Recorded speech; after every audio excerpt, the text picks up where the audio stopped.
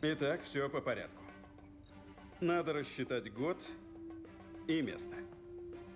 Из присутствующих каждый так или иначе столкнулся с одним из камней бесконечности. Мягко сказано, столкнулся. Скорее, чудом остался жив после встречи с камешком. Лично я нет. Я вообще понятия не имею, о чем разговор. Неважно. Частиц Пима у нас всего на один заход на камень. При том, что камни разнесены как в пространстве, так и в истории. Нашей истории, в которой приятных эпох не сказать, чтобы очень много. Разделимся и поделим объекты. В точку. Итак, начнем с эфира. Тор, что известно?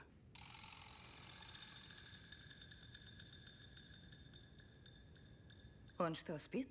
Да нет. По-моему, просто помер.